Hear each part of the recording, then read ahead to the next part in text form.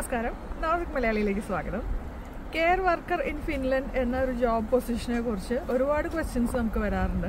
അപ്പോൾ സാധാരണയായിട്ട് നമ്മൾ പറയാറുള്ള മറുപടി എന്താണെന്ന് വെച്ചാൽ ഫിന്നിഷ് ഭാഷ അറിയാതെ ആ ജോലി ചെയ്യാൻ കുറച്ചൊരു ബുദ്ധിമുട്ടാണ്. അതുകൂടാതെ തന്നെ പ്രോപ്പർ ട്രെയിനിങ്ങും ഇവിടുത്തെ തരത്തിൽ ജോലി ചെയ്യാൻ വേണ്ടിയിട്ടുള്ള ട്രെയിനിങ്ങും വേണ്ടി വരും. ഇത് രണ്ടും ഒരു ഡ്രോബാക്ക് ആണ്. പുറത്തുനിന്ന് ജോലിക്ക് അപ്ലൈ ചെയ്യുന്നവർക്ക് എന്നാണ് നമ്മൾ പറയാറുള്ളത്. പക്ഷെ ഇപ്പോൾ ഒരു പുതിയ ഓപ്പർച്യൂണിറ്റി വന്നിട്ടുണ്ട്. നഴ്സിംഗ് വിദ്യാഭ്യാസം ഉണ്ടാവണം. നഴ്സിംഗ് വിദ്യാഭ്യാസം ഇല്ലെങ്കിൽ കെയർ അസിസ്റ്റന്റ് ആയിട്ട് മൂന്ന് വർഷത്തെ വർക്ക് എക്സ്പീരിയൻസ് വേണം. ഫിന്നിഷ് ലാംഗ്വേജ് സ്കിൽസ് ആവശ്യമില്ല. ഇംഗ്ലീഷ് ലാംഗ്വേജ് സ്കില്ലും പ്രൂവ് ചെയ്യേണ്ട ആവശ്യമില്ല.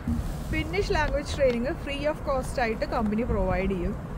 Finnish language skill A two point two എത്തുന്നവരെയാണ് ഫിൻലൻഡിലേക്ക് റിക്രൂട്ട് ചെയ്യുക. Residence permit relocation expense accommodation എന്നിവയും കമ്പനി പ്രൊവൈഡ് ചെയ്യും. രണ്ട് വർഷത്തെ ഫിക്സഡ് ടേം കോൺട്രാക്റ്റ് ആണ് കമ്പനി പ്രൊവൈഡ് ചെയ്യുന്നത്. ഈ രണ്ട് വർഷത്തിനുള്ളിൽ പ്രാക്ടിക്കൽ നഴ്സിന്റെ ലൈസൻസ് എടുക്കാനുള്ള പോസിബിലിറ്റി ഉണ്ട്. ഫിന്നിഷ് ഭാഷ കുറച്ച് ബുദ്ധിമുട്ടാണെങ്കിലും അല്പ എഫേർട്ട് ഇട്ടാൽ പഠിക്കാൻ പറ്റുന്നതാണ് എന്റെ പേഴ്സണൽ എക്സ്പീരിയൻസ് എന്ന് എനിക്ക് പറയാനുള്ളത്. രണ്ട് വർഷം കൊണ്ട് കുറച്ച് എഫേർട്ട് ഇട്ടാൽ എന്തായാലും പഠിച്ചെടുക്കാൻ കഴിയും. ഈസ്റ്റേൺ ഫിൻലൻഡിലാണ് ഈ ഓപ്പർച്യൂണിറ്റി അവൈലബിൾ ആയിട്ടുള്ളത്.